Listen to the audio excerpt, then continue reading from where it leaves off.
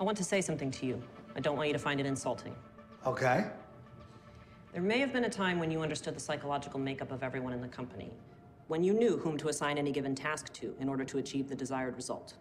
I know how my employees think. You're saying I don't anymore? You don't anymore. Companies get bigger, modes of governance and delegation need to change to keep pace, or you get this. It's not the best short thesis on Klaxon, but I thought Ben Kim could make it fly. He couldn't. Mafee couldn't either. Their numbers dictated so long, so that's all they could see. Fuck me. Mafee's not dumb. He's not soft. But he didn't understand, or wasn't willing, to put on paper what you needed him to put on paper. What do you think that was? Justification for later. Proof that a good case could be made for the short.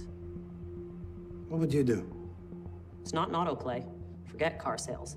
Take a deep dive into their financing department. Look at 30 and 60 day delinquencies, leasing, credit.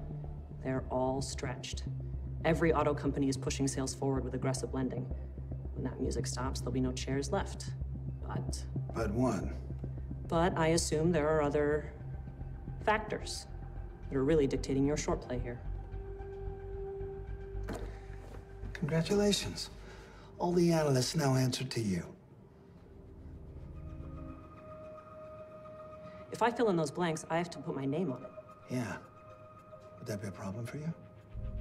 You know how your employees think, right? So you tell me.